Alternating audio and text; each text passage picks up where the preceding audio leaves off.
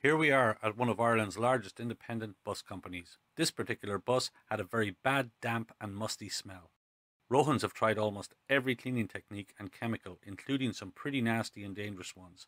Nothing had a long term impact. Ten minutes ago, we set up our new fogging system in the front of the bus.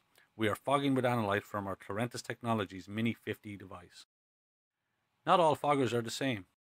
Real fog does not wet, and micron size is very important. Most are really misting or spraying systems. My colleague John Headley Soto will now walk from the back of the bus to show how dense this fog is.